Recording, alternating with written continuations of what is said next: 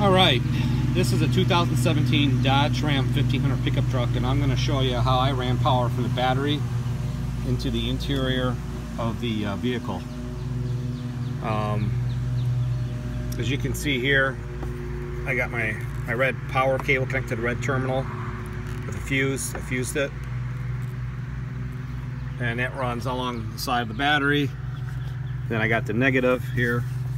I mean, some people you could, you know, you could secure to uh, the chassis if you want. I chose battery. And then down in here.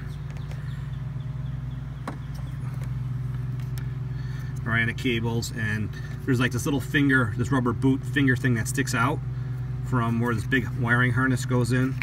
And on the end of this, it was rounded off, and all I did is I cut it off, um, which um, allowed me to push these two wires through. These are 14 gauge wires, I do believe. And you could probably get 12 gauge through there. And what I did is I sprayed them with a little bit of silicone to make them slide better. And then I pushed them through.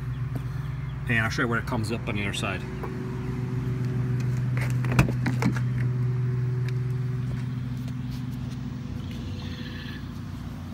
Let me get my flashlight here.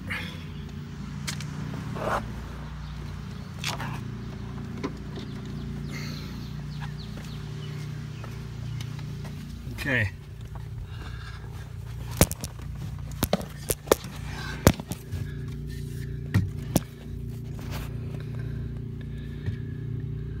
Let's see here. Let me get this thing to focus.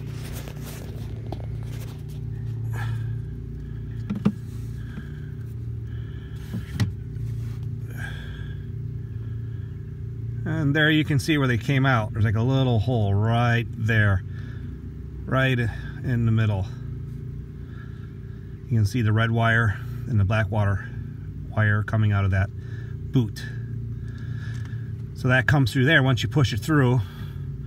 Then once you get it through, then you can, you know, um, hook it up to whatever it is that you want it to. And um, that's pretty much about it. I've seen some people drill holes through the firewall. I've seen some people um, run it uh, from underneath and then up through the floor. Um, but I found this is one easy way of doing it, um, essentially right through the uh, firewall.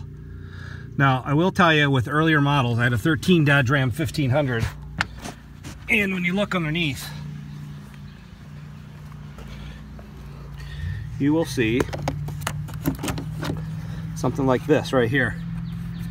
Okay, in this particular year model, I can't get to that.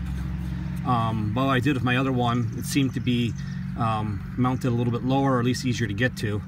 And I drilled a hole through this plastic plate, and I was able to run the wires through it. But in the 17, I wasn't able to do it that way. Um, so that might be an option for you as well if um, you don't have a rubber boot, to, um, the tip of the rubber boot to cut off to uh, run wires. Try looking for this underneath, and you may be able to use this to drill a hole through and then pull the wires through. So anyhow, that's just one way I found that I've um, of getting um, wire um, power, you know, with uh, you know with wires right from the battery to the uh, inside of the cabin hookup uh, accessories. Thanks for watching.